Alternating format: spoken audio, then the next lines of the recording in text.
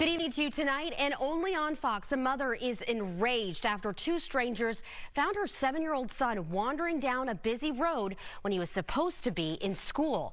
Fox 26's Abigail Dye spoke to the mom and got a response from IL Texas West Park where the little boy was supposed to be. Abigail.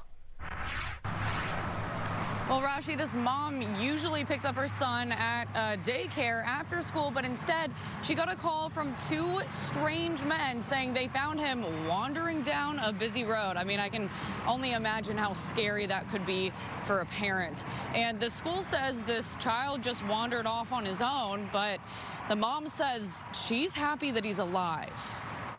Where's your parents? Cell phone video taken by two men after they found little seven-year-old Jordan all alone. He almost walked in the middle of the street. Yeah, hey, them streets are bad. Oh you my watch God. out the cars. He was wandering down Bellaire Boulevard in West Houston. Man, I never seen nothing like this. It was around 3 p.m. Friday. You know your phone number? Okay, You wanna call? Let's call your family, okay? I received a call from a number that I didn't recognize. I didn't initially answer, but they called me back. Um, I answered and they asked me, did I know someone named Jordan? She sure did. Jordan is Cheryl Thompson's son. And my heart's in my stomach. I'm like, it's only three o'clock. He should be within the school's care. How did he walk away from the school? The men got Jordan to his daycare, which is in the same area they found him about a half mile from IL, Texas West Park, where Jordan was supposed to be. I'm just thankful for the fact that he made it from the distance of where the school is to where he ended up, which is like half a mile without being hit by a car. IL, Texas says Jordan somehow got out of the school, then jumped this fence, which is about six foot. And little Jordan, he's only 3'8. He did all of this undetected. With his backpack on his back the whole time, he could have gotten hung.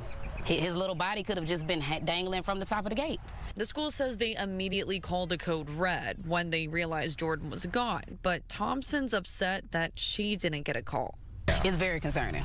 Very concerning. She says she wants to see the school take action so something like this doesn't happen again. I just don't want this situation to get swept under the rug. I really don't.